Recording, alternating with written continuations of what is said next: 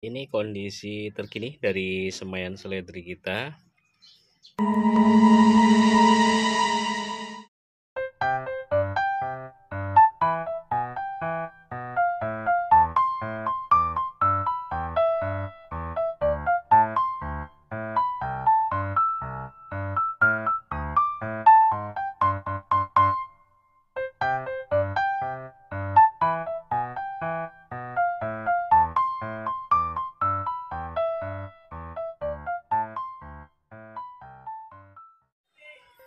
Assalamualaikum teman-teman sahabat pembudidaya.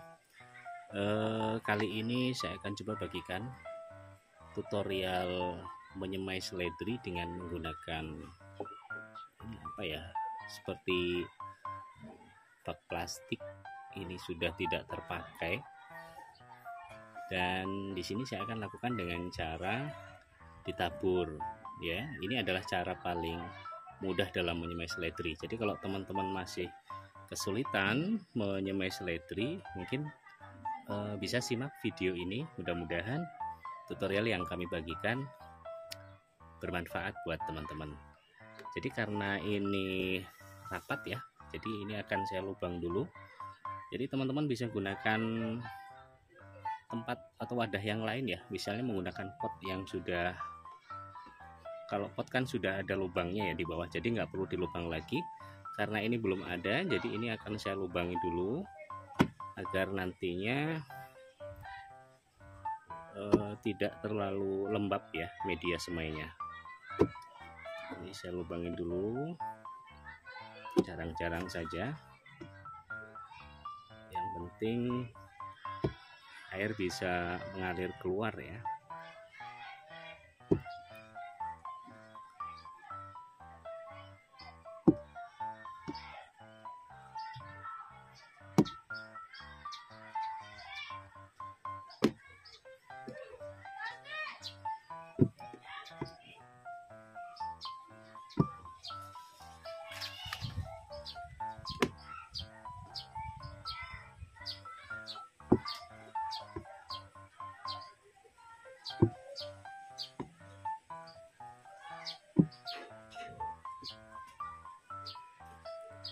Oke, ini sudah saya lubangi teman-teman. Langkah selanjutnya, ini akan saya isi dengan media semai atau dengan bisa menggunakan tanah ya.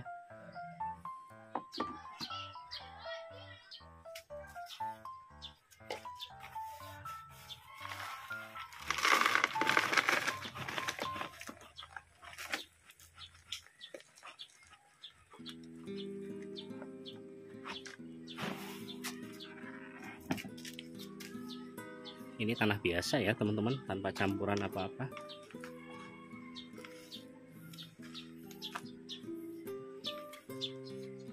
Dan ini tidak kita isi penuh. Jadi di sini yang penting eh, tinggi dari media semai itu cukuplah untuk pertumbuhan akar selama masa semai Nah, setelah kita ratakan seperti ini, ini masih ada jeda ya, masih ada rongga di sini. Ini memang sengaja tidak kita isi penuh. Nah, fungsinya untuk apa? Nanti kita uh, kasih tahu teman-teman setelah semaian itu tumbuh. Selanjutnya kita siram ya, teman-teman. Kita basahi. Kita siram sampai jenuh. Dan setelah disiram kita tunggu airnya meresap.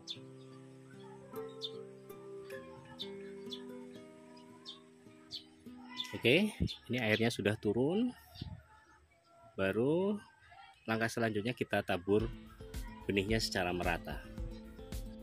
Nah ini benih yang kita pakai di ada benih seledri dari panah merah. Kita masukkan ke dalam wadah ini rencananya menyemai jumlah banyak ini ya teman-teman. Kita taburkan saja secara merata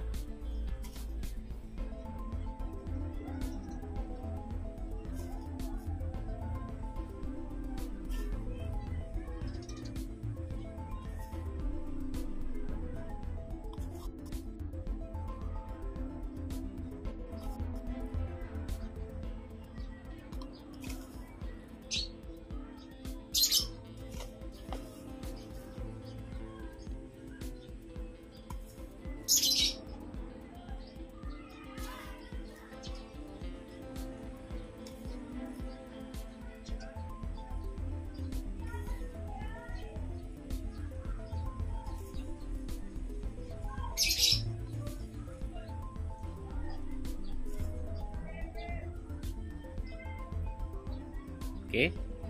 Setelah kita tabur secara merata kemudian kita tutup bagian atasnya menggunakan tanah lagi tapi tipis-tipis kita taburnya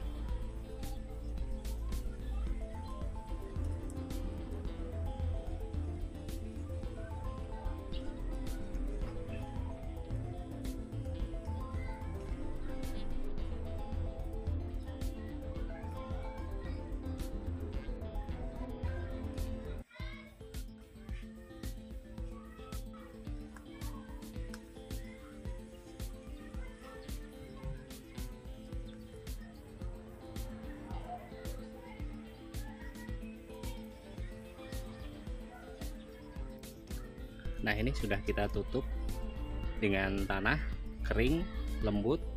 Kita tabur secara merata tipis-tipis. Ini kan penutupnya tadi masih kering ya teman-teman. Terus kita basahi lagi. Khusus membasahi bagian atasnya saja. Bagian penutupnya yang tadi kita gunakan masih dalam kulit oke cukup sudah sampai selesai.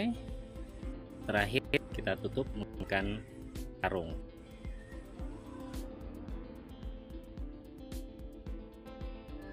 Oke teman-teman sahabat lembu didaya ini semaian kita sehari ini genap 10 hari. Kemarin semai tanggal 5 dan sekarang sudah tanggal 15 jadi genap 10 hari kita buka ya teman-teman. Seperti apa kondisinya?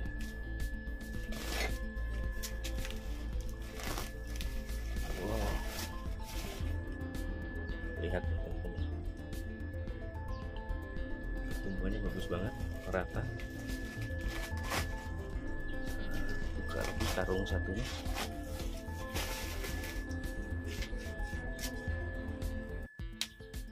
yang pakai nampan. Ini kayaknya kondisinya terlalu lembab ini teman-teman. Jadi setelah kita buka tutup ini adalah masa-masa yang rawan ya teman-teman. Jadi yang harus kita lakukan jangan sampai ini terkena sinar matahari secara langsung kemudian yang kedua kita harus menjaga kelembapannya nah menjaga kelembapan ini kita tidak boleh menyiram terlalu banyak. Ini terlalu lembab ya. Kalau yang seperti ini terlalu lembab ini kita biarkan dulu. Jangan disiram biarkan dia agak kering sedikit. Jadi menyiramnya itu dengan menggunakan sprayer yang lembut sekali lagi jangan terlalu lembab karena kalau terlalu lembab dia nanti akan busuk. Nah yang menggunakan nampan ini mungkin eh, airnya tidak lancar keluarnya ya sehingga dia menggenang. Jadi mungkin perlu sedikit diganjal ininya biar airnya turun. Oke seperti itu ya teman-teman. Jangan menggunakan pupuk apa pun. Jadi biarkan aja dulu dia tumbuh secara alami selama dalam semaian seperti ini. Oke ya kita lihat lagi nanti eh, setelah beberapa hari kemudian.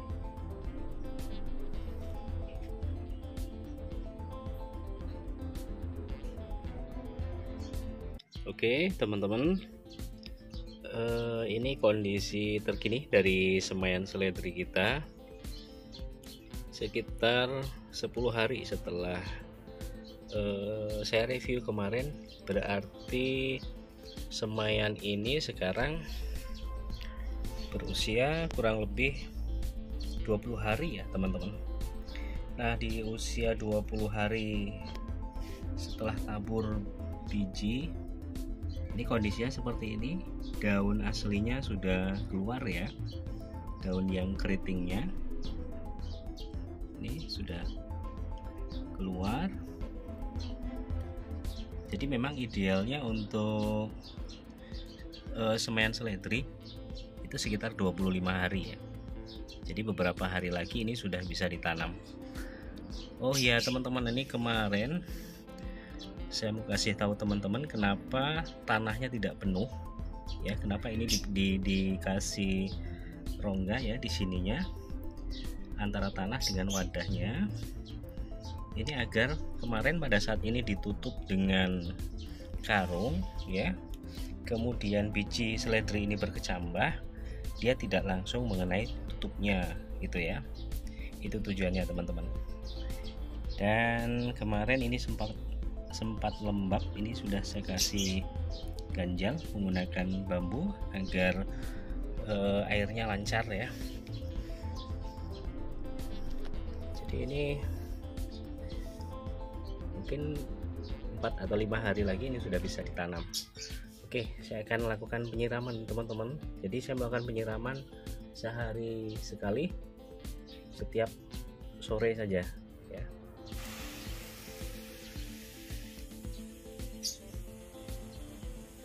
Jadi kita menyiramnya menggunakan sprayer lembut seperti ini ya. Karena semen slider ini benar-benar sangat rawan ya teman-teman perlu kehati-hatian makanya biasanya mungkin eh, teman-teman masih gagal menyemai seledri mungkin salah satunya dari penyiramannya ya menggunakan air yang terlalu besar sehingga dia mungkin roboh atau menyiramnya terlalu basah sehingga eh, semayan itu atau tanaman seledrinya busuk